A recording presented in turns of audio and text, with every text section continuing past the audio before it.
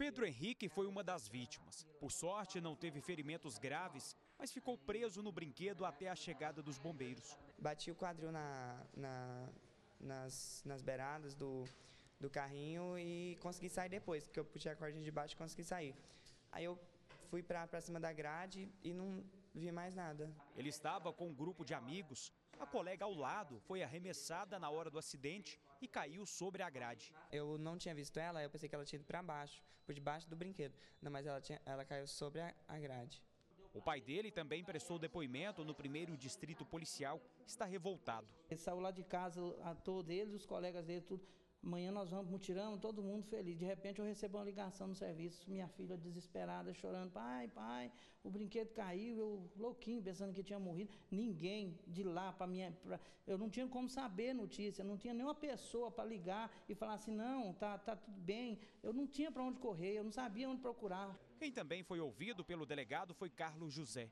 O filho da dona Iraci, a vítima mais grave, que precisou de fazer uma cirurgia na perna. Ela continua internada na UTI do Hospital de Urgências de Goiânia. Ela fala que só ouviu um estralo, né? E de repente caiu.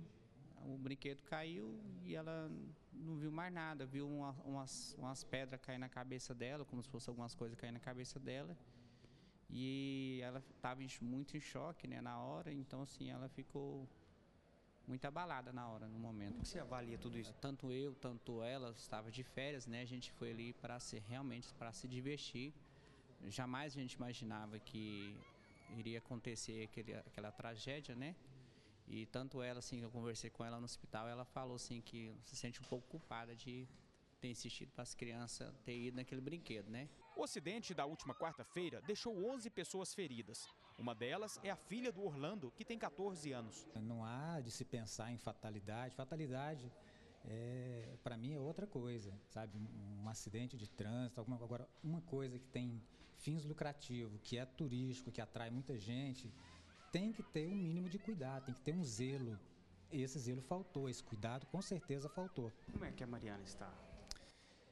Bom, a Mariana ela teve duas fraturas de quadril, então assim, ela sente dores, ela está numa cama, ela está com toda a limitação que se precisa ter nesse momento para se recuperar. O dia na delegacia foi movimentado. O delegado vai ouvir vítimas e testemunhas para depois pegar o depoimento dos diretores do Mutirama. Ele suspeita que o brinquedo já estava estragado antes do acidente. Na semana que vem, a perícia deve usar um guindaste para levantar o brinquedo e analisar melhor a parte quebrada. Esse eixo está ele, tá se quebrando já tem tempos.